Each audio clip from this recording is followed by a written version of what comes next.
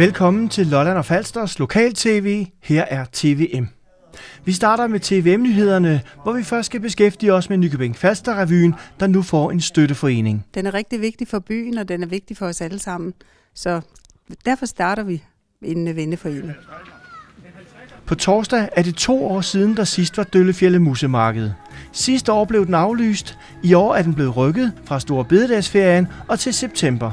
Vi talte med formanden Leif Kortsen. Der er Døllefjeldmarked i år, øh, og det ligger i første weekend af september fra den 2., 3., 4. og 5. september. I Nykøbing på Cementen, den store parkeringsplads ved Nykøbing Falsterhallen, er der store planer. Øh, lige nu er vi i gang med en øh, høring for en, lokalplan, som øh, muliggør et byggeprojekt hernede på Cementen. Man har været vant til i rigtig mange år, at Cementen er sådan den centrale parkeringsplads i byen her. Men vi fik en idé af en projektudvikler i forhold til at den store efterspørgsel, der er på at bo i Nykøbing, og gerne så centralt som overhovedet muligt, at man faktisk kunne kombinere parkeringsmulighederne, som man har i dag, med et boligprojekt. Vi skal også forbi Rødby Havn endnu en gang og se, hvor langt man er nået med byggeriet af Femern-forbindelsen. Og så satte vi Miki Plæs stævne på Nykøbing Teater. Vi spurgte ham, hvad han mener om den nye støtteforening. Det er jo nogle gode, solide kræfter, som øh, er kendt i Nykøbing og omegn, og som har været hernede mange år i forhold til mig, øh, som lige pludselig henvender sig til mig og siger, Miki, vi vil gerne bakke op, vi skal lave revyens venner. Øh, det kan man kun sige fantastisk til. Det er et fantastisk initiativ. Sidst i udsendelsen skal vi kigge tilbage til et tidligere Døllefjælde Musemarked, og vi taler med flere af de frivillige på markedet. Det, det vil sige at være kaptajn, det er, at man, øh, man skal have det store overblik i, øh, i den her. Det er så bare et, vi står i, og man skal lede og fordele arbejdet. Og... Rigtig god fornøjelse.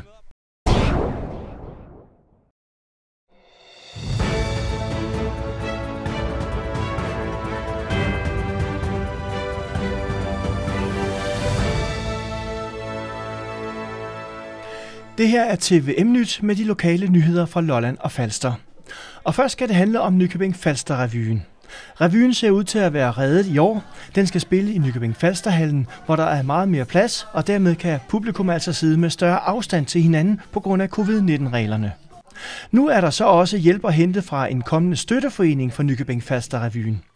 Seks lokale personer har taget initiativ til at stifte en forening, vi mødte fire af dem på teateret forleden. De sidste to var desværre forhindret i at deltage. Ja, vi mangler uh, Lise Kaufmann Lund, og øh, vi mangler Anne Brudersen, som uh, ikke lige kunne være her i dag. Men øh, I fire skal jo så prøve at kaste et lys over øh, det her nye initiativ, som jo altså skal støtte Nykøbing Falster-revyen. Den har jo været lidt øh, hårdt ramt her på grund af coronanedlukningen. Sidste år blev der ikke nogen revy. I år bliver der revy, men i Nykøbing Falsterhallen med øh, færre publikum end normalt. Og det vil jo så også i sidste ende betyde, at indtægterne ikke bliver de samme, som man har forventet. Øh, så fortæl lige, øh, hvad er formålet helt præcis med den her støtteforening? Jamen formålet er jo først og fremmest at bakke revyen op og, og, og udbrede kendskabet til Nykøbing Falster Revyen. Den er rigtig vigtig for byen, og den er vigtig for os alle sammen. Så derfor starter vi en venneforening. Og øh, de her midler, som der så skal skaffes for, øh, at I kan støtte revyen, hvis den har behov for det, øh, hvordan øh, vil I øh, få fat i dem? Ja, det er i hvert fald være ved hjælp af medlemskontingenter, og øh, så vil det hen ad vejen være, når hvis revyen skulle komme i en situation, hvor der kunne være nogle investeringer her på teater, som revyen gerne vil foretage, men hvor de har svært ved at skaffe pengene som en privat virksomhed, der vil vi kunne øh, søge fonde øh, i, i vores støtteforening.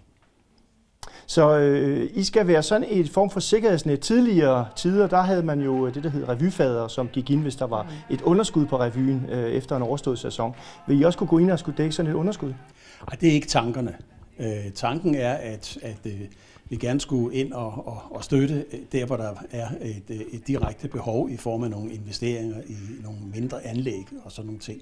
Men derudover også øh, kunne være med til at støtte øh, revyen, når de laver aktiviteter ud lige, lige ud over øh, lige øh, øh sommerrevyen.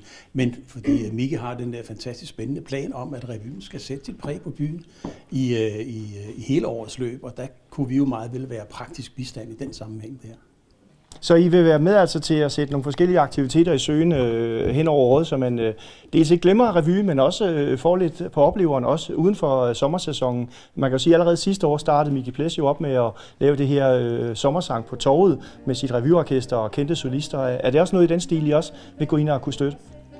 Øh, jeg er ikke øh, måske at støtte, som du siger det der, men øh, måske at tage initiativ til nogle af de der. Nu øh, er jeg jo selv lidt kørende i banko, og hvor jeg har Miki som, øh, som god øh, bankovært, så det kunne da meget vel være, at vi skulle lave et øh, revybanko. For, så, øh, så det er jo et, et helt taget at få skabt noget opmærksomhed, og få skabt også, at folk kan få lov til at være, få en lille del af revyen.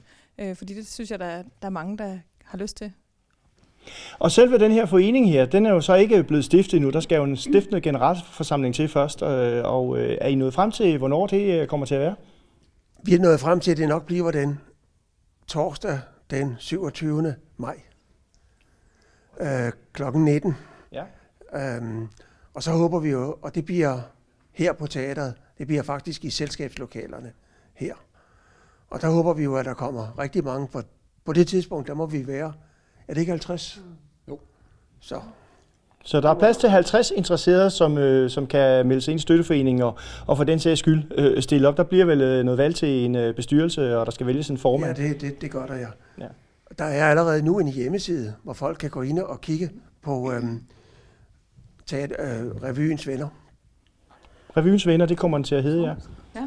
Og, øh, og man kan også følge med ind på Facebook, hvor vi også har en øh, side, øh, Revyens Venner, og man kan faktisk også allerede melde sig ind nu. Øh, så, så hvis man tror på projektet, så kan man godt lige øh, med 200 kroner og lige melde sig ind. Der er en indmeldelsesblanket på hjemmesiden. Meget velkommen. Ja, man er meget velkommen. Så det vil sige, at man kan altså allerede nu støtte revyen, øh, som har været lidt hårdt trængt her det sidste års tid ved at melde sig ind. Og så er det for et helt år, at man er medlem for 200 kroner. Øh, vil man så få nogle specielle øh, fordele ved at være medlem? Altså vil der blive sendt noget ud, eller vil man blive indbudt til øh, nogle forskellige specielle ting som medlem? Ja, vi har, det har vi jo drøftet lidt omkring, om, det, om der skulle være en eller anden øh, ting tegnet op på det, men vi tænkte egentlig, at 200 kroner, at så, så får man lov til at støtte revyen, så der behøver måske ikke at være en forventning om, at man gør andet, end at man støtter revyen, men vi vil selvfølgelig udbyde nogle forskellige arrangementer og sådan noget, øh, som, øh, men jeg er ikke sikker på, at det lige er med ind i de 200 kroner, at der er suppesteg og is for et eller andet. Så jeg håber, at øh, man det der med sådan et beløb der, også synes, at det er meget godt at støtte om den gode sag, uden at man nødvendigvis sådan får og nu er projektet jo heller ikke helt på plads, for vi skal først have valgt en øh, bestyrelse på generalforsamlingen. Men man kan jo sige netop, at det, at det er en støtteforening, jamen, så de penge, man giver, det er jo fordi, det skal gå til støtten af revyen og teateret øh, med de ting, som man kunne stå og have behov for, som der måske ikke er midler til. Det lyder spændende, og vi vil selvfølgelig øh, vende tilbage med, med de arrangementer, som I fremadrettet tilbyder, og høre, hvordan det kommer til at gå med hele projektet her. Indtil videre skal I have held og lykke og med god vind i sejlene for at få den her støtteforening op at køre, så vi er sikret revy i mange år frem, også her i Nykøbing. Mindst. Tak skal du have. Miki Ples blev selv positivt overrasket, da han hørte om støtteforeningen, og er meget taknemmelig for, at man har sat den i søen. Det er jo nogle gode, solide kræfter, som øh, er kendt i Nykøbing og omegn, og som har været hernede mange år i forhold til mig, øh, som lige pludselig henvender sig til mig og siger, Miki, vi vil gerne bakke op, vi skal lave revyens venner. Øh, det kan man kun sige fantastisk til. Det er et fantastisk initiativ og fantastisk opbakning, opbakning til mig revyen, ja. Sidst i nyhederne kan du høre mere til Miki Ples, hvor han også fortæller, hvordan det går med prøverne og alle de forberedelser, der er til at rykke Nykøbing Faster revyen til Nykøbing-hallen.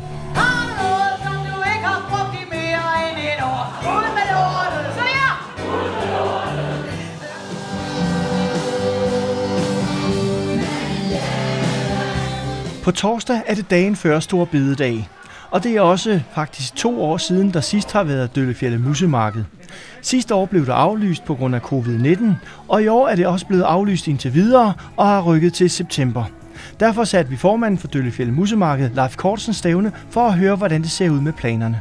Der er Døllefjældmarked i år, øh, og det ligger i første weekend af september fra den 2., 3., 4. og 5. september. Og øh, vi planlægger simpelthen et marked øh, på øh, fuld udblæsning, og vi øh, har et firedages marked. Det vil sige, at øh, selvom fredagen, fredagen den 3. september, ikke er en, øh, en fridag, så erklærer vi Lolland Falster og Sydsjælland og Fyn og alt muligt andet for en, øh, en helligdag. Øh, vi håber på, at øh, folk kan få plads i deres kalender og så lægge vejen forbi Døllefjeld, også selvom det er en normalt arbejdsdag øh, den 3. september der.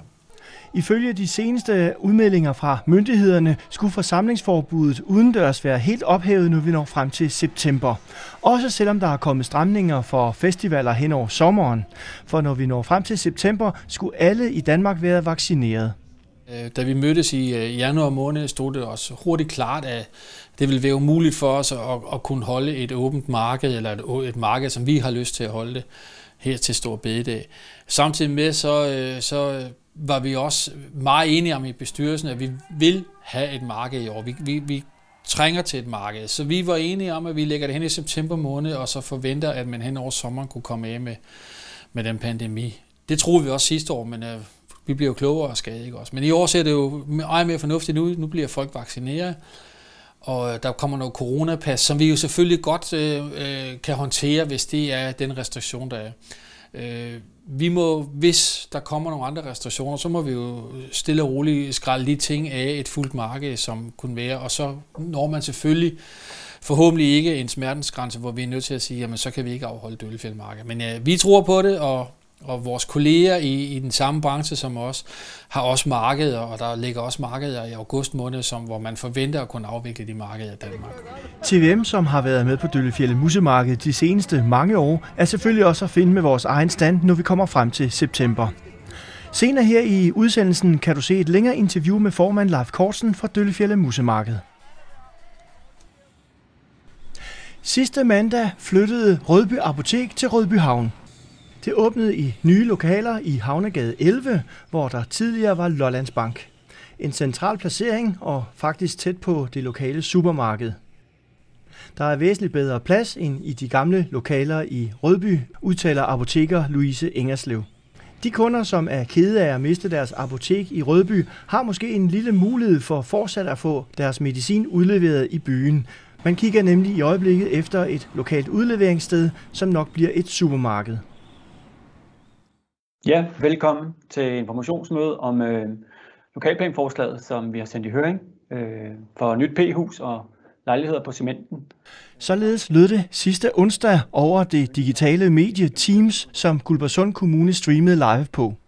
Det handlede om cementen, den store parkeringsplads midt i Nykøbing Falster, hvor det er planen, der skal bygges et stort parkeringshus og en masse lejligheder.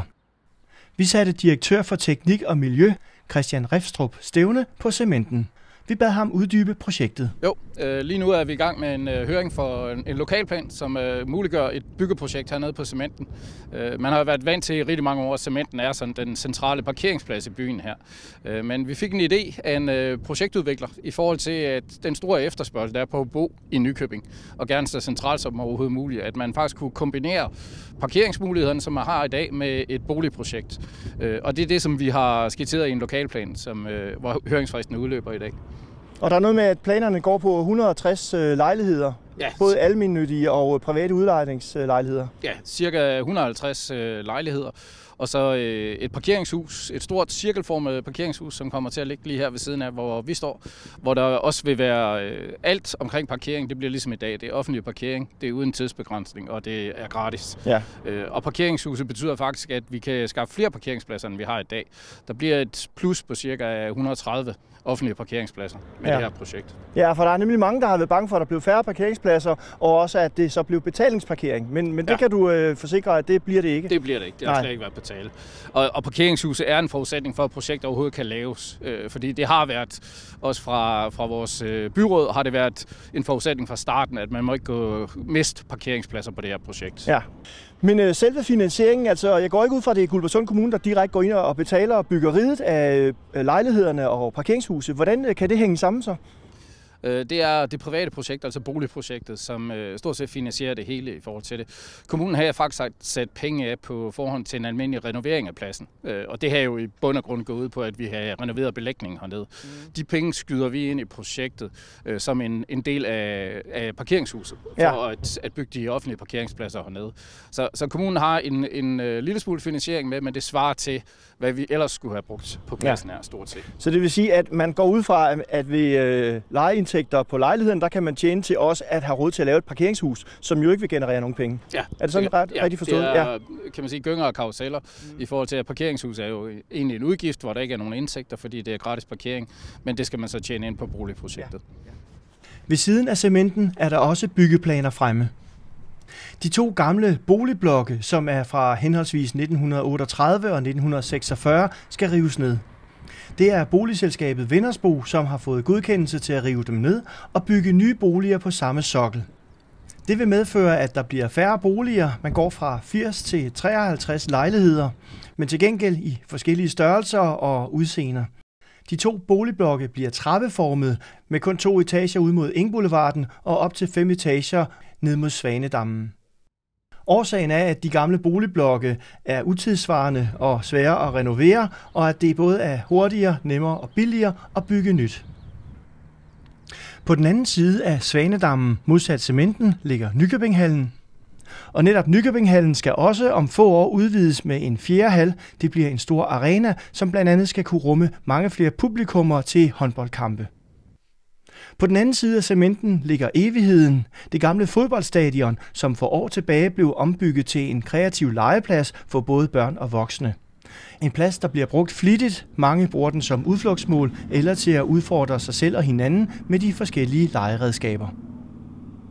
Men øh, selve planerne med at, øh, at etablere det her på cementen, det er der jo øh, flere, som der jo øh, har været fremme med forskellige ryster omkring, at, at så er pladsen øh, væk for andre muligheder, altså med øh, Tivoli og loppemarked og koncerter og åben air her senest ved påske, hvor øh, kirken holdt øh, gudstjeneste osv.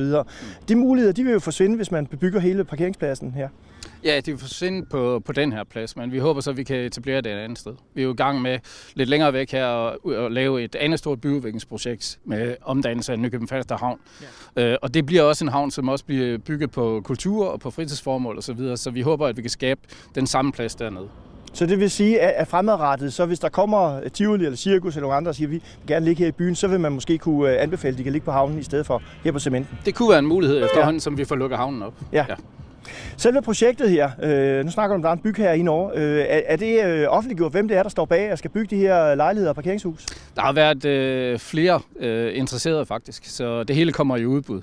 Øh, jeg vil helst ikke røbe øh, udviklerens navn øh, nu i forhold til det, men det vil selvfølgelig ikke være ret længe, før det, det bliver offentligt. Vil det være nogle lokale, nogle, eller nogle øh, nationale eller internationale, der ja, står bag? Altså, de, de bare henvendelser, vi har haft på, på udviklingen areal, det har været lokale. Ja. Og der er jo gang i byggeriet generelt i Nykøbing, kan man sige, og det her det er så bare en ud af mange projekter, hvor man øh, skal, skal lave om. Og I holdt jo også her i sidste uge et, øh, et borgermøde digitalt på, øh, på Zoom, så vidt jeg husker, også var det Teams. På Teams, ja. Teams var det, ja, hvor, øh, hvor man kunne gå ind og, øh, og spørge om forskellige ting. Og mm. der var selvfølgelig mange, der havde spørgsmål. Nogle var kritiske, nogle var positive, og sådan er det jo altid med, med kommende projekter. Øh, blandt andet med højden af parkeringshus op til seks etager. Mm. Øh, men, men altså, man kan sige, at området her er jo ret stort, og hvis man kigger rundt, ja. så er der også andre bygninger, der er op til seks etager her i nærheden. Så, så det er ikke noget, I øh, frygter vil give gener? Nej, netop. Altså, vi har øh, i forbindelse med lokalplanarbejder har man lavet øh, skyggeberegninger i forhold til, om, om det kommer til at genere naboen hernede. Øh, og og det, det gør det ikke. Der er nogle ganske få tidspunkter på, på året, men det kan vi tilpasse i projektet. Mm. Øh, parkeringshuset bliver det højeste, det bliver op til 20 meter højt. Øh, men det får grønne væge, altså beplantning på siderne, sådan, så det så, så meget som muligt giver det her grønne indtryk, som man også har med Svanendammen her bag ved os ja. i forhold til det. Og husene får en højde, som stort set svarer til, til det, man møder, når man går op imod byen her. Der har været fremme på et tidspunkt også øh, i, i de oprindelige planer, at øh, Nørre Boulevard her også skulle inddrages i øh, projektet, men det har så vist sig, at det er en fejl, og at vejen fortsat vil være tilgængelig, og man kan køre mod Nørrebro. Er det korrekt? Jo, Nørre ja. Boulevard, der bliver trafikken som i dag. Der har været, det er i forbindelse med lokalplanen, så er der et kort, hvor man har tegnet matriklerne op, og der hører vejarealer med til den her matrikel, men der sker ingen ændringer på Nørre Boulevard. Og hvad er tidshorisonten for det her øh, projekt her? Hvornår går man i gang? Ja, nu øh, lokalplanen vil jo så komme tilbage til politisk øh, behandling efter høring her. Øh, og hvis, hvis den øh, bliver godkendt af byrådet, jamen, så er det meget op til projektudvikleren, hvad hastighed der skal være. Der skal laves øh, de endelige aftaler med et boligselskab, som også øh, er med i projektet her. Og så jeg vil gætte på, at der i hvert fald går to til tre år endnu, før man begynder at kunne se et projekt hernede. Og det er, så vidt jeg husker, omkring er det en 500-600 parkeringspladser, der vil blive i det her parkeringshus. Er det den størrelsesorden? Ja, stort set. Der er 260 pladser i forvejen. Øh, så får man et plus på 130 plus cirka 150 til lejligheden. Ja. Så man ender deroppe. Så, så, der, så der bliver lidt flere end det, der er nu. Ja. Men, men ja. øhm, er det så også nok, hvis man kigger øh, ud i fremtiden? Fordi at planen er jo, at man skal bygge en halv 4, den store arena her, i forbindelse med Nykøbinghallen til store arrangementer. Mm. Øh, vil det så være nok til øh, at kan rumme de biler med de tilskuere, der kommer der? Til de helt store arrangementer, der kan det stadig være for lidt. Så, så vi har kigget på alternativer også. Øh, vi har den store parkeringsplads på Paul Martin Møllers vej, som vi lavede også af hensyn til gymnasietrafikken. Øh, og så har vi kigget på, om vi kan lave noget på DSB's erhvervsareal over på den anden side af Skovlægen også. Ja, så, så vi eventuelt kigger... med noget gangbrug og Skovlægen måske til også stadion videre. Ja, på længere sigt kunne det være ja. en mulighed der. Men det er så... ikke noget, som der er truffet nogen beslutninger omkring endnu? Nej, nej, det er på tegnebrættet, men ja. øh, kun til overvejelse endnu. Så, øh, så vi ser frem til, at projektet her det øh, går igennem nu. Er der jo så en, en høringsfase, er det korrekt? Ja, ja. den udløber faktisk i morgen, altså mandag her. Mandag, ja. ja. Og så går sagen videre til politisk behandling. Det lyder godt. Du skal have tak for, at du lige kunne tage dig tid til at orientere lidt om det. Velbekomme. Borgermødet i sidste uge foregik digitalt og kunne overværes på Teams. Det ligger stadigvæk på Gulbersunds hjemmeside i et par uger endnu. Vi har jo præsenteret et, et forslag om, at der skal være de her 390 offentlige øh, P-pladser.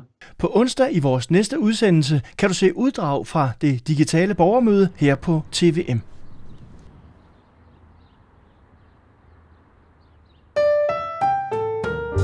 Vi slutter TVM-nyhederne med lidt billeder fra Rødby Havn, hvor man er i fuld gang med forberedelserne til den nye arbejdshavn. Det er jo i forbindelse med etableringen af Femerntunnelen, at man skal lave en stor havn med store moler, som skal beskytte prammene mod stormvejr og store bølger. Når først man er færdig med arbejdshavnen, går man i gang med at bygge den store tunnelelementfabrik, som skal støbe de store tunnelelementer, som skal sænkes ned på bunden af Femernbælt. For øvrigt har man også nu åbnet det nye udstillingscenter, som ligger i det gamle Dan-hotel i Rødbyhavn. Udstillingscenteret viser forskellige modeller over det kommende Femern-byggeri. Blandt andet kan man se en komplet model af hele tunnelen. Udstillingscenteret holder åbent på hverdage fra kl. 9 til 17 og i weekenderne fra kl. 11 til 16. Og centret overholder selvfølgelig de restriktioner, der er i forbindelse med corona. Dermed er TVM-nyhederne slut. Vi fortsætter med interviewet med Miki Ples.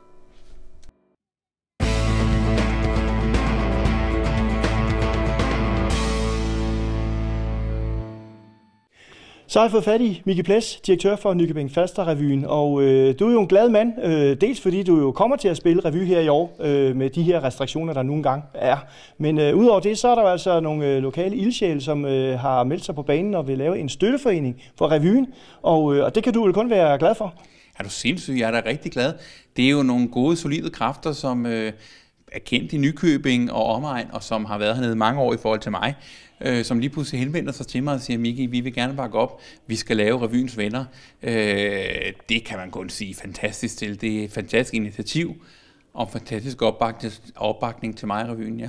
Ja, for det er jo personer netop, som der er kendt fra både teaterverdenen og, og det kulturelle og musikalske her i byen. Bestemt. Og, øh, og de siger jo også netop, at de vil kunne gå ind og støtte med forskellige ting, øh, både selvfølgelig økonomisk for revyen, men også hvis du mangler nogle ting, eller teateret mangler nogle ting, mm. eller være med til at bakke op om nogle arrangementer, der kan komme til at foregå på andre tidspunkter i løbet af året. Ja. Kan du uddybe lidt det, hvad, hvad du har sådan i bagtankerne om at lave jo, andet end sommerrevy? Vi, vi, vi, har mange, øh, vi har mange tanker, øh, og allerede sidste år gik vi ud og lavede sommersang på torvet, som jeg var en erstatning for revyen. Øh, det må vi se, om vi gør igen i år. Nu spiller vi jo heldigvis revy, og revyen er jo vores hovedprioritet, sommerrevyen, men jeg har hele tiden sagt, at vi vil lave nogle drøbvise arrangementer hen over hele året, og det, øh, det synes så øh, de her gode folk, som vil starte revyens venner, er en rigtig god idé at bakke op. Og det er jo et kæmpe skulderklap for mig at få som den nye mand på posten. Jeg ved snart ikke, om man kan sige, at jeg er en ny mand. Nu har jeg efterhånden været nogle år, men, øh, men det er jo så stadigvæk. Og, og så i det hele taget øh, til revyen og holdet bag revyen et kæmpe skulderklap, fordi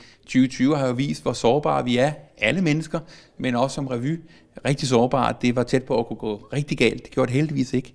Og nu øh, kører det derud af med et fantastisk forsat og sådan noget, så vi er meget glade, men der skal ikke så meget til at rocke den båd. Og det har det her vist med al tydelighed. Så derfor er det jo fantastisk, at der er nogle ildsjæler og nogle mennesker, der går for os og siger, nu skal vi støtte øh, revyen på en eller anden måde. Så det er også sådan en, en øh, opbakning, kan man sige, både økonomisk, men selvfølgelig også mentalt, at der er nogen, der vil revyen og, og kan komme og træde til, hvis du står lige pludselig og har problemer. Ja, men fantastisk. Altså i virkeligheden, det økonomiske spørgsmål betyder jo noget, men, men det betyder næsten mere det der med, at der er nogle mennesker, der siger, Miki, vi står bag dig, øh, og vi, vi bakker nu op omkring denne her revy, som jo faktisk de næste år har 110 års jubilæum. Det er jo fantastisk, mm. at man igennem årene har fået skabt en tradition, at Nykøbing Falster Revyen er blevet kendt i hele Danmark, og er blevet et fantastisk brand for hele området hernede, øh, og vi har kunder fra hele Danmark, der kommer og skal ned til Nykøbing Falster. Det er godt gået, øh, og det kan jeg jo ikke tage æren for. Det er dem for, før mig, der har øh, banet den vej, øh, så at alle nu ved, hvad Nykøbing Falster Revyen er, og vi ligger jo i udkants Danmark, så, så det, er, det er en kæmpe præstation og en masse hårdt slid, der ligger bag der, som jeg nu kan høste frugten af, og det, det er selvfølgelig dejligt. Og så er det fedt med nogle mennesker, der siger, kom så, vi, øh, vi, vi går bag dig, eller vi står bag dig, og vi vil gerne lave nogle arrangementer i foreningens regi, som jeg selvfølgelig som, som revydirektør og musiker vil bakke op omkring i den grad. Ja. Og nu siger du det med, at vi ligger i, i ja, udkants Danmark. Det er der jo mange, der siger, det er et flyord. Ja, ja, men, men ikke desto mindre, så er revyen Nykøbing Falster jo kendt ude i hele landet, og ja. blev jo forrige år øh, valgt som årets bedste revy. Ja. Øh, og, og den næstbedste revy har man jo også sagt gennem mange år, altså, øh, eller den mest, næstkendteste revy, kan man sige. Der er mange, der siger, at det er Cirkusrevyen, mm. der er den mest kendte. Så, så øh, det er jo i folks bevidsthed, men det er klart, at, at sådan en revy øh, øh, støtteforening her, som der er aktiv hele året igennem, vil jo selvfølgelig være med til at holde gryden endnu mere i kog. Ja, i den øh, grad i den grad. Øhm, og nu øh, siger du så det her med, at revyen jo, altså vi snakker om, at revyen kommer til at køre i år, og den kommer jo så til at foregå i Nykøbinghallen, mm. og, og det er jo noget af en udfordring, og jeg tænker, at øh, du jo har ligget vandret her meget længe, og, ja. og, og øh, inden længe, så skal I i gang med at bygge øh, hele scenen og tilskuerpladser og alt det her op dernede. Øh, kan du fornemme, om I er med øh, med hele planlægningen? Jamen, vi er fuldstændig med. I dag mandag starter vi faktisk prøver på vores revy. Øh, og jeg har været i København hele dagen, og øh, jeg kan bare sige, at det tegner bare rigtig godt. Øh, Øh, vi har et fantastisk hold. Vi har Rasmus som instruktør, som er så super tjekket, og som øh, jo også ved, fordi han har været her i Nykøbing mange år, hvad publikum vil have. Øh, så vi har alt for mange tekster, og de er gode alle sammen, så vi skal jo til at sortere fra. Det er jo et luksus, luksusproblem. Så er der hele produktionsfasen, op, opbygningen, hvor at jeg står med et hold en produktionsleder, Jim Falk, som har været her i mange år som lysdesigner, som nu har taget produktionshatten på. Det kan han også. Og så står jeg jo altså med en halv og Mark og Gert nede for hallen, som jo i den grad bare er vidunderlige samarbejdspartnere og hele det her kommunale system, som jo hele tiden har sagt, jamen øh, vi skal have det her projekt til at lykkes. Revyen er så vigtig for hele byen, øh, så det skal vi til at lykkes. Så vi er fuldstændig med, øh, også omkring om opbygning af handel og sådan noget. Vi er fuldstændig med, hvor vi, hvor vi skal være. Øh, alt er bestilt, øh, scenografien er bestilt, øh, øh t- hvad hedder det, selve de øh, tekstilmaterialer, vi skal bruge, er blevet malet og er ved at blive syet sammen af Sanne, som sidder på vores billetkontor, som er en fantastisk pige. Jeg tror ikke, der er en borger i Nykøbing, der ikke ved, hvem Sanne er, fordi hun også er ansat i Teaterforeningen. Øh, Sanne er et ildsjæl simpelthen, og en fantastisk medarbejder her, som bare har ja den på altid. Og hun sidder og passer billetkontoret sammen med Lone om dagen, og så går hun op på scenen og syr fra kl. 8 til 11, og igen om aftenen og om natten og sådan noget. Og det er jo fantastisk at mærke den der, at Miki, det her, det skal vi klare sammen. Så det er jo godt nok min revy på papiret, men, men det er det ikke, fordi der er rigtig mange, der har skyld i, at det her kan lykkes. Så, så vi er med, og det bliver fantastisk godt. Jeg håber, at alle går ud derfra, når vi åbner døren den 10. juni og siger, hold det op. Øh, det var ikke kun et, en revy, det var faktisk også et kæmpe show, de, de statuer benene. Det er det, det, vi er i gang med at gå med nu, og øhm, det kan godt love, at det bliver drømme, vi to dansede rundt i ægte kærlighed. Jeg sidder her og ser på dig og tænker, må du ser på mig, men det gør du ikke. Du er så koncentreret, når jeg kigger på dig, ser jeg kun dit bortvægte blik. Og dine fingre danser, og de rører så blidt ved skærmen, du har foran dig. Jeg ønsker, at du rører ved mig på samme måde, som du rører din iPhone.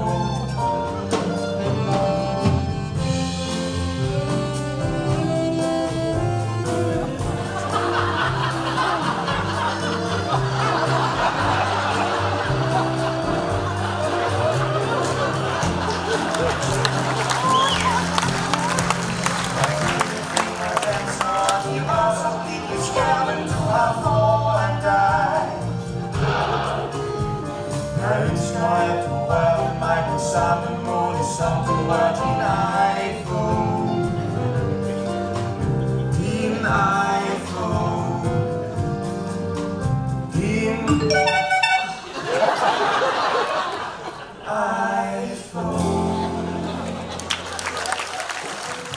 Og billetsalget, det kører jo også rigtig godt, og der er allerede strømme. nye øh, ekstra forestillinger.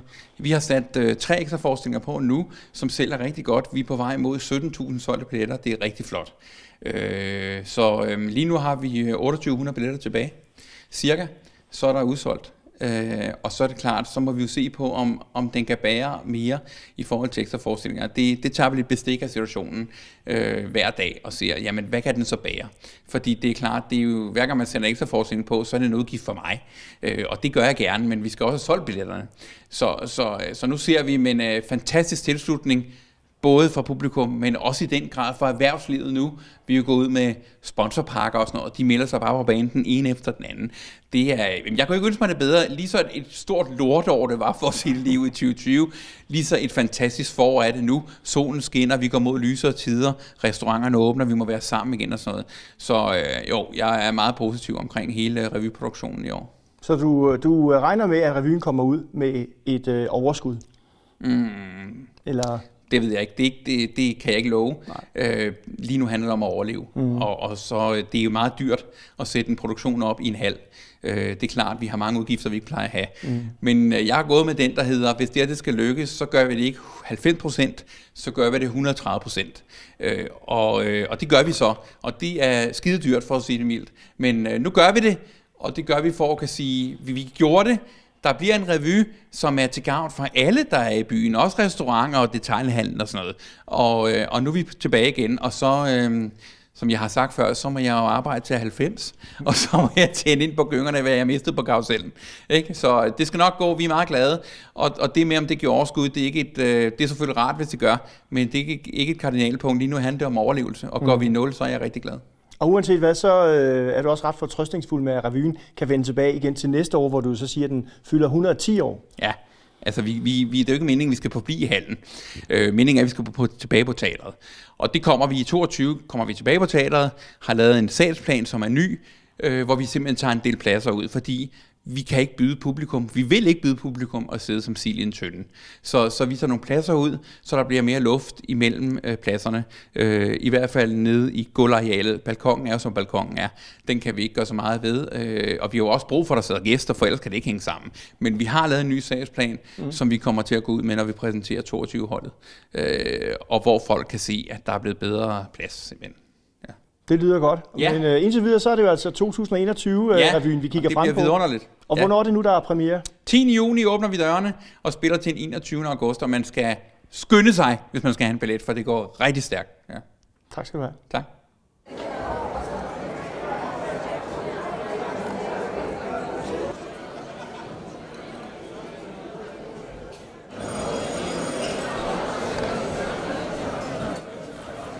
Den sorte skjorte. Nu min 43, 44. Det er ikke min. Det er min.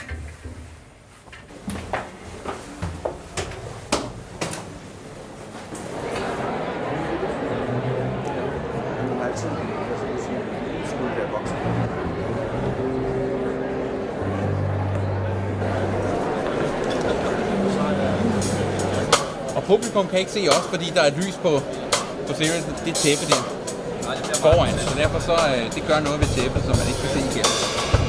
Vi kan nok lige se nodelamperne, tror jeg. Og nogle silhuetter med.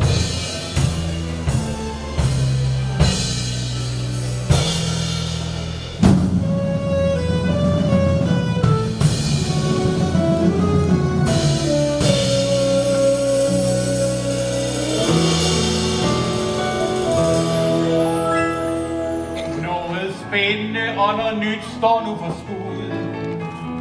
Men Gud, hvor er det bare nogle store sko at fylde ud. Jeg har allerede krampe i min venstre læg. Til gengæld er du ved at få lidt overskæg. Nå, nå, nå, nå, nå, nå. Men vi er sikre på, at det nok skal gå at stå på egne ben. Og det følte det er virkelig noget, for vi har mega mod på. Der er bare lige en ting, vi skal have fod på. For vi savner jo revyens tyngdepunkt. Men til sammen vejer vi vel lige så tungt. Vi har bare, bare lige at skifte skidt over en ting Og så længe vi er to i stedet for en. Så er det ikke en fed at stå på vegne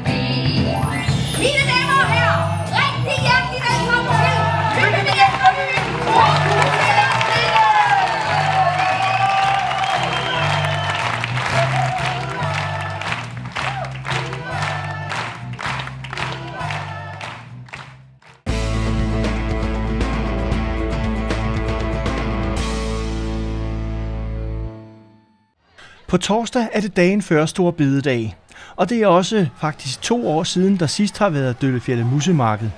Sidste år blev det aflyst på grund af covid-19, og i år er det også blevet aflyst indtil videre og har rykket til september. Derfor satte vi formanden for Døllefjælde Musemarked, Leif Kortsen, stævne for at høre, hvordan det ser ud med planerne.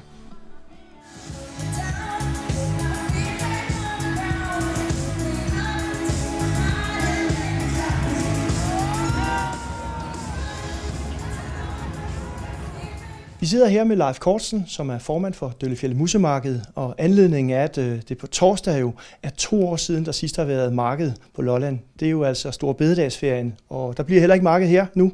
Det bliver rykket til september, og kan du ikke starte med lige at rise op, hvornår kommer der Døllefjælde Marked? Der er Døllefjeldmarked i år, øh, og det ligger i første weekend af september, fra den 2., 3., 4. og 5. september. Og øh, vi planlægger simpelthen et marked øh, på øh, fuld udblæsning, og vi øh, har et fire-dages marked. Det vil sige, at øh, selvom fredagen, fredagen den 3. september, ikke er en, øh, en fridag, så erklærer vi Lolland Falster og Sydsjælland og Fyn og alt muligt andet for en, øh, en helligdag. Øh, vi håber på, at øh, folk kan få plads i deres kalender og så lægge vejen forbi Døllefjælde, også selvom det er en normalt arbejdsdag øh, den 3. september der. Ja, der er nok mange, der efterhånden begynder at savne det. Sådan hører man lidt i krogene. Allerede sidste år måtte de jo øh, aflyse øh, om foråret, og så var det meningen, at det skulle have været i september, men coronaepidemien den fortsatte jo, og det blev så aflyst. Øh, men øh, det skal være ganske vist nu, at folk når at blive vaccineret, inden vi når frem til september, og, og det gør jo altså, at der forhåbentlig ikke er nogen restriktioner. Jamen altså, øh, det er jo sort og hvidt meget af det, og, og det har vores beslutninger sådan set også været. Øh, da vi mødtes i øh, januar måned, stod det også hurtigt klart, at det vil være umuligt for os at, at kunne holde et åbent marked, eller et, et marked, som vi har lyst til at holde det her til Stor Bededag. Samtidig med, så, øh, så var vi også meget enige om i bestyrelsen, at vi vil have et marked i år. Vi, vi, vi trænger til et marked. Så vi var enige om, at vi lægger det hen i september måned, og så forventer, at man hen over sommeren kunne komme af med, med den pandemi. Det troede vi også sidste år, men øh, vi bliver jo klogere og skade, ikke også. Men i år ser det jo meget mere fornuftigt ud. Nu bliver folk vaccineret, og øh, der kommer noget coronapas, som vi jo selvfølgelig godt øh, øh, kan håndtere, hvis det er den restriktion, der er. Øh, vi må, hvis der kommer nogle andre restriktioner, så må vi jo stille og roligt skralde de ting af et fuldt marked, som kunne være, og så når man selvfølgelig forhåbentlig ikke en smertensgrænse, hvor vi er nødt til at sige, jamen så kan vi ikke afholde døllefjeldmarked. Men øh, vi tror på det, og, og vores kolleger i, i den samme branche som os, har også markeder, og der ligger også markeder i august måned, som, hvor man forventer at kunne afvikle de markeder i Danmark. Ja, fordi nu siger du det med, at der er også andre markeder, men der er jo nogen, der allerede nu har meldt ud, at de er aflyst for i år, blandt andet Jallerup Marked, som ligger lidt tidligere. Ja. Øh, der er, en, øh, der er en smertensgrænse omkring juni måned, hvor man har været øh, i meget i vildrede. Jeg ved også, at Vorbase Marked stadigvæk planlægger markedet hos dem. Men i Jallerup Marked, som ligger i juni måned, der, der har man altså valgt i år igen at, at aflyse. Vi trænger så meget til et marked på Lønfaste. Vi trænger til, at vi kommer ud og, og, og hygger os. Og, og lige nøjagtigt et, et Døllefjælde Musemarked er jo det sted, hvor vi... Det er fristed i fire dage for, for Lolland Falster. Og allerede sidste år, øh, hvor I jo måtte øh, først rykkemarkedet og så aflyste det, der var I jo langt fremme med forberedelserne og havde lavet kontrakter med forskellige bands, der skulle optræde, og telte og alt muligt andet. Øh, og det måtte I jo så aflyse. I har jo stået med en kæmpe regning. Øh, hvordan øh, kan I overhovedet komme igennem med, med alle de udgifter? Altså man må sige, øh, heldigvis så lever vi i Danmark. Altså jeg er så glad, og jeg er også stolt af at være dansker, når man øh, i, i, i den her tid øh, har kunnet se, øh, hvor meget der skulle lukkes ned, og hvor dyrt det har været i Danmark. Vi er i Døllefjeld i den heldige situation, at vi har afventet øh, nogle øh, beslutninger, der skulle tages ind i Erhvervsministeriet, og så har vi ansøgt om kompensation her i januar måned, og har umiddelbart her for 14 dage siden øh, modtaget en accept inden for Erhvervsministeriet, og pengene er gået ind på vores konto. Så vi har ligesom fået nulstillet alle vores ting og sager, og det betyder blandt andet også, at kontrakter med telte, hvor der er en del kompensation på. Øh, musikere har lavet nogle opgørelser og sagt, hvilke udgifter havde de på at skulle have været til Døllefeldt, hvad de vidste af penge. De bliver alle sammen kompenseret, og det er vi så i gang med nu øh, fra markedskontoret at udbetale penge til, til, det, til de øh, berørte øh, kunstnere og leverandører. Men nu er I så i fuld gang med at, at planlægge det kommende marked. Øh, For eksempel sådan noget som damefrokosten, som jo er et af de helt store øh, aktiver, kan man sige. Der har øh, dem, der har købt billet allerede sidste år og nu til foråret i år, de har så fået øh, rykket deres billetter og konverteret dem frem til, til damefrokosten i år, øh, her i september. Ja, altså der, det er jo selvfølgelig øh, beklageligt for, for, for de damer, der, der køber en billet øh, i øh, 20, øh, første fredag i 2020, øh, og har planlagt en weekend, der skulle det, og så, så byder vi med en tur i september måned 2020, hvor der desværre selvfølgelig var nogen, der ikke kunne, og, og så fik de byttet billetter, og da det så blev aflyst igen, jamen så flyttede de billetterne til Store Bede i 2021, og den har vi så aflyst en gang til. Så jeg forstår godt, at der er nogle af damerne, der er meget frustreret. Det er altså årets fest for de damer derovre. Men øh, der er jo ikke andet at gøre end at sige, nu har vi fundet en ny weekend i september måned. Har vi nogle damer, øh, som ikke kan i september måned, det har vi jo også fået lidt henvendelser på, jamen så må vi jo igen sige, jamen så reserverer vi jeres billetter til 2022 i Stor Bededagsferien. Så vi gør, hvad vi kan for at gøre alle glade. Men, men en ting kan vi jo sige. Altså, vores kære Fransen, ham har jeg haft fat i.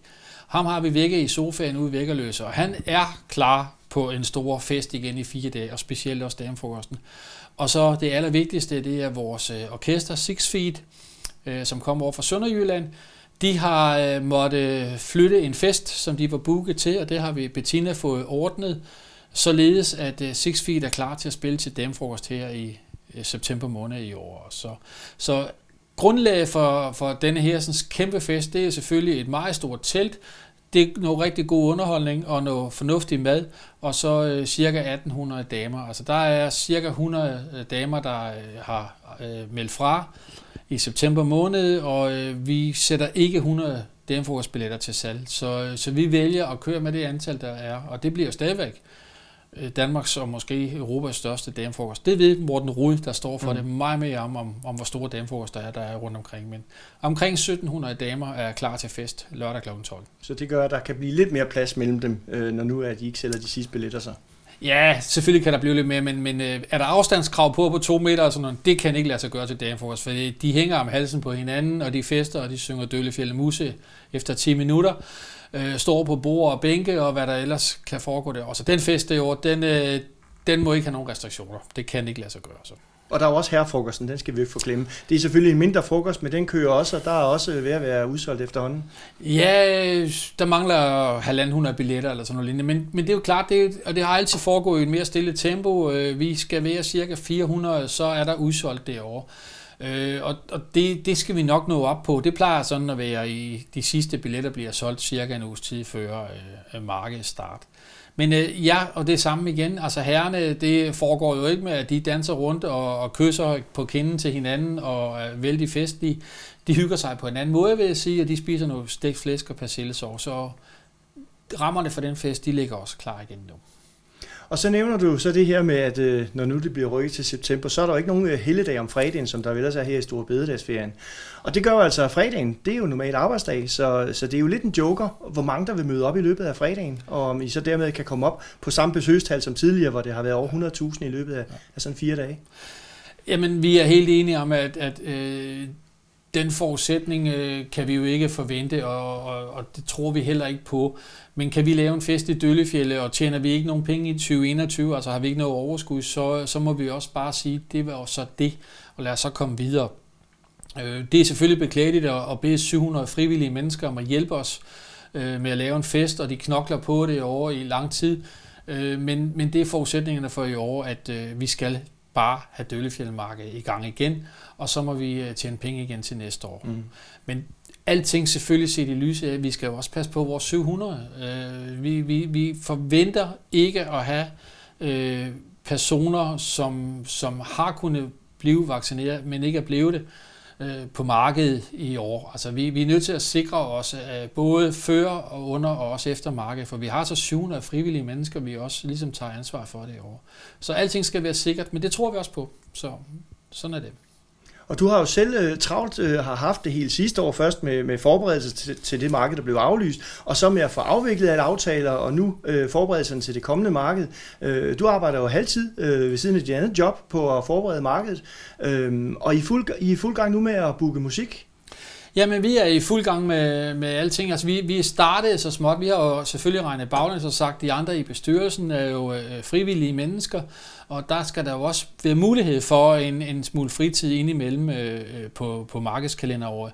Så nu er vi startet. Vi har haft et bestyrelsesmøde, og vi er alle sammen øh, gået tilbage og i hver vores ansvarsområde skal vi kontakte leverandører og musikere og alt muligt andet, og høre, øh, hvilke betingelser vi kan indgå aftaler på i år.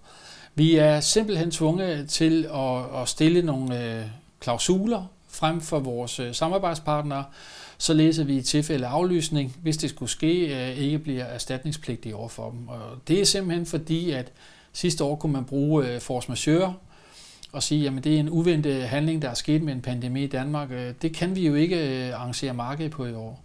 Og samtidig med, så er der fra Erhvervsministeriet en arrangørpakke, som gør, at øh, hvis ikke der er øh, restriktioner, som væsentligt ændrer vores marked, for eksempel nogle små øh, ændringer eller noget andet, hvor vi skal bruge coronapas, jamen så kan vi ikke søge arrangørpakken, hvis vi aflyser.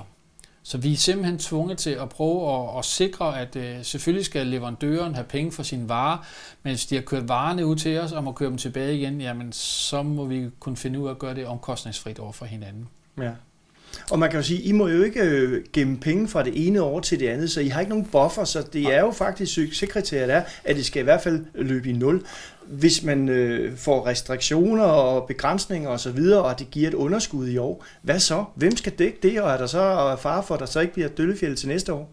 Altså man kan sige, at der er, jo, der er jo altid en fare for, at Døllefjeld musemarkedet ikke kan genopstå, og det er jo nøjagtigt, som du siger, at når vi når en generalforsamling, så afleverer vi jo fra markedsforeningen pengene over i det, vi kalder en uddel, uddelingsfond øh, eller uddelingsudvalg. Og i det uddelingsudvalg, der sidder jo forskellige repræsentanter, blandt andet også politikere fra Guldborgsund Kommune, øh, og, og de genererer jo pengene ud til de foreninger, der har ansøgt om, om del af overskud, og fodboldklubben er jo selvfølgelig berettiget til at få en, en, en vis stor del af det overskud, i og med det er deres jord, det er deres klubhus, det er også dem, der har lavet festen fra starten.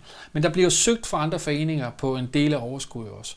Og det betyder, at når den generalforsamling er overstået, og uddelingsudvalget har delt penge ud, så er der ingen penge i kassen.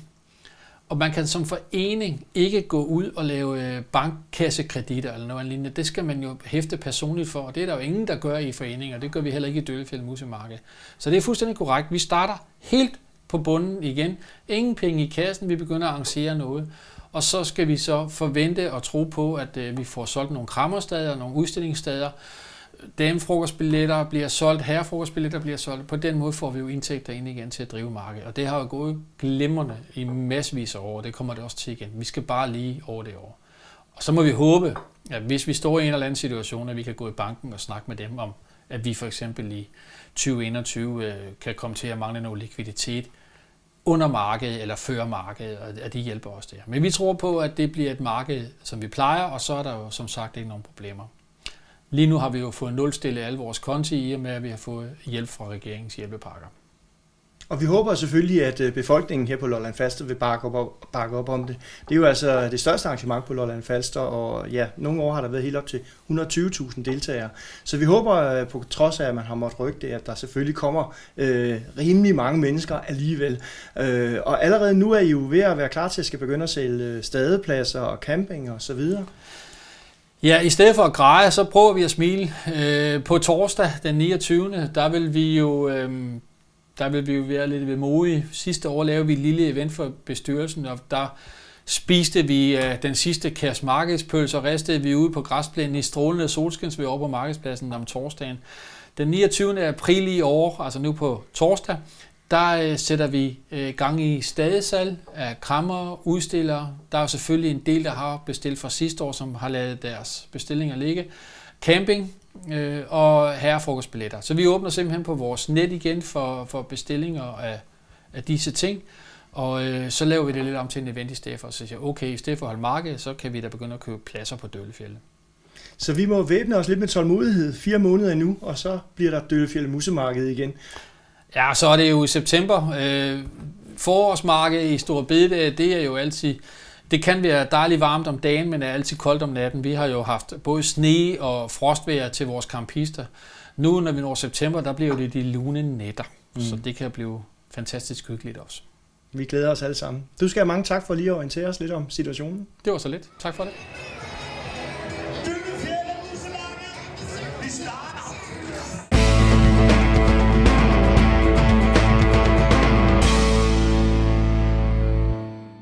Vi slutter dagens udsendelse af med endnu mere Døllefjælde Musemarked. Vi markerer, at det officielt skulle have været her i den kommende weekend, at der skulle være marked, men at det nu er ganske vist, at det bliver flyttet til september i år. Her skal vi se en reportage til optog i 2018 fra Døllefjælde Musemarked.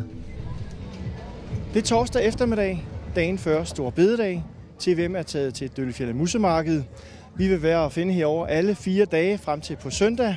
Vi har et telt og en vogn, hvorfra vi laver tv, som vi både vil streame ud på nettet og også sende på vores lokalkanal. I aften skal der være masser af musik. Klokken den er 18, og markedet er lige startet. Her om ikke så mange timer, så øh, er aftenens helt store navn, Joey Moe, klar til at gå på scenen i markedsteltet bag mig. Og øh, der kommer også mange andre, blandt andet The Burgermaster, som skal spille i Western-teltet. Vi vil gå rundt og fange stemningen her i øh, de tidlige aftentimer, hvor markedet så småt er ved at åbne bag ved mig.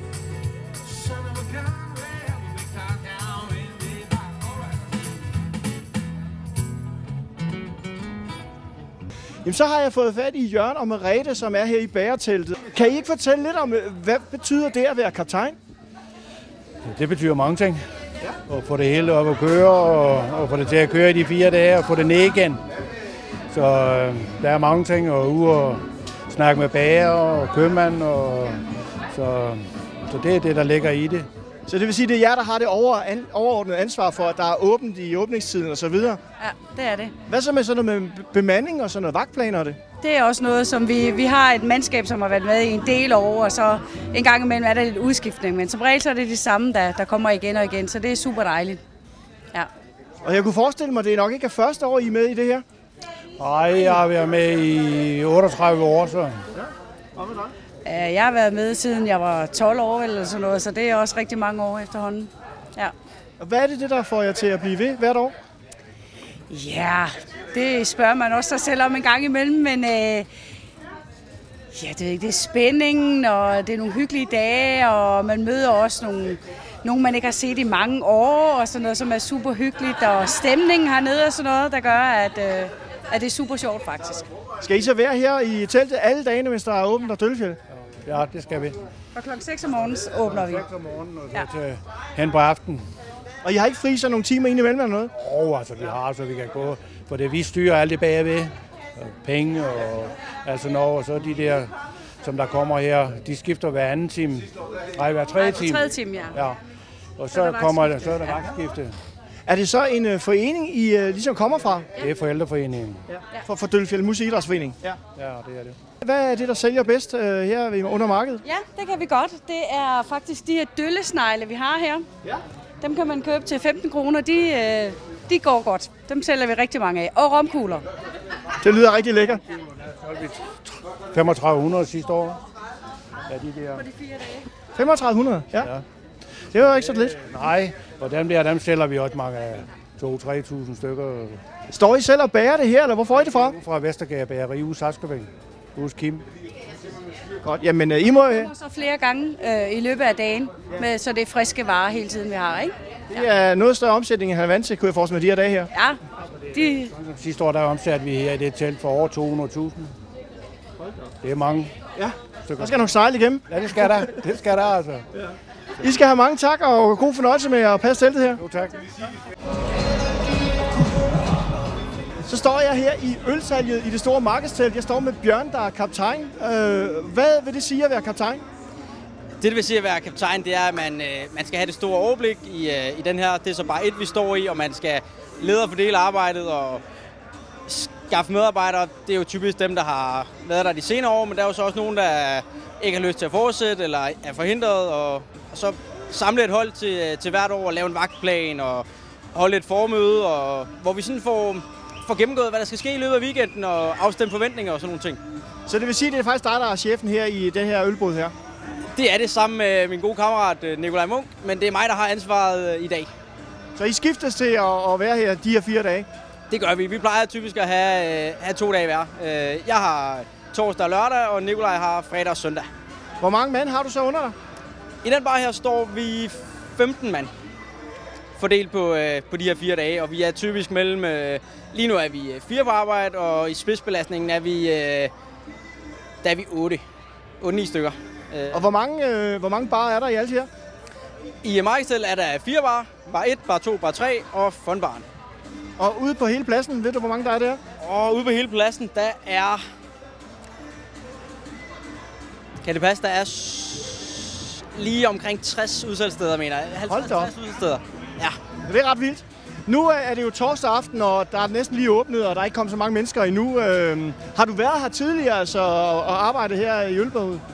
Ja, det har jeg. Jeg har, øh, jeg har altid hjulpet til på Døllefjeld Bussemarked. Øh, det er mit andet år i øh, Bar 1 her. Øh, så det er, jeg er lidt, lidt genganger her på, i Bar 1, men ellers har jeg stået i ishus og stået i, uh, inde i sportsbaren, og har ellers været stafet i Grillet lige herude bagved. Og da jeg var helt lille, der løb jeg med rekvisitionssedler fra markedskontoret og ned til øh, depotet. Jeg kunne forestille mig måske, øh, nu I skal fordele øh, ar- arbejdsopgaverne, at der er rift om at komme til at stå inde i det store telt, hvor der jo altså er musik øh, hver eneste aften. Ja, altså det er, jeg er i hvert fald glad for at stå herinde, og man kan jo opleve de fedeste koncerter og de, den største fest herinde, og så synes jeg bare, det er fedt at stå. Altså vi er en masse, masse venner, der står kammerater, der står sammen, og så er der også nogen, der kommer, altså nogle nye, der kommer til hvert år, og man får nogle nye kammeratskaber og et nyt, øh, et nyt fællesskab. Man møder, man møder nogle nye mennesker. Og hvordan er du overhovedet kommet med i det her? Jamen, som jeg sagde før, jeg har, jeg har hjulpet til lige siden øh, jeg var 5-6 år gammel, og nærmest altså bare fik nogle små opgaver, og bare ret rundt her, og, og havde det Er det så fordi, du spiller i fodboldklubben, øh, eller hvordan øh, har du ligesom kommet til at gå her?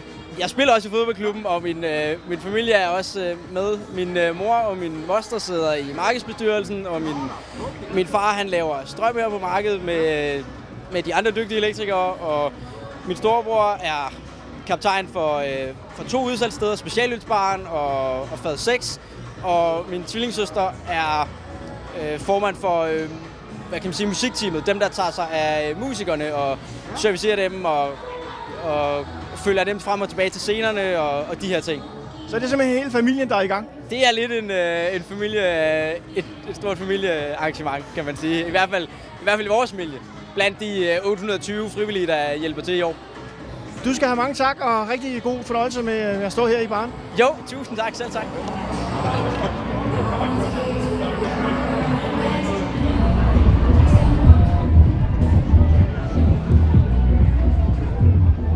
Jamen, øh, vi er bare nede og kigge. Det er sådan set det. Jeg ved ikke helt, hvor lang tid vi er her. Er det første gang, I er her? Nej, ja, hvad dog? Bor I her i nærheden så? Nej. Hvor kommer I fra? Vi kommer ned fra Sølsted. Vi kommer her hver dag. Hele weekenden. Hvad med musikken? Hvad, øh, er der noget, der I skal høre? Nej, åh. Joey Moe skal vi selvfølgelig ned og se. Ja, det er jo i aften, han går på. Ja, så vi kommer jo selvfølgelig i aften. Så må I have en rigtig god fest. Jo, tak.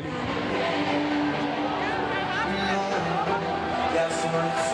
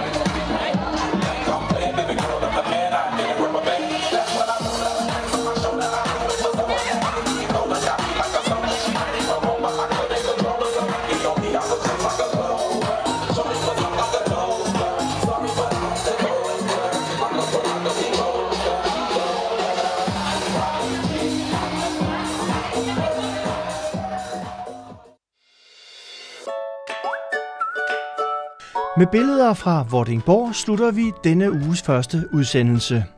Vi er tilbage onsdag aften kl. 22 med mere lokalstof. I mellemtiden kan du gå ind på vores YouTube-kanal, hvor du har mulighed for at se tidligere udsendelser. Du kan også læse mere om os på vores Facebook-side eller vores hjemmeside tv-m.dk. Tak for nu og på gensyn.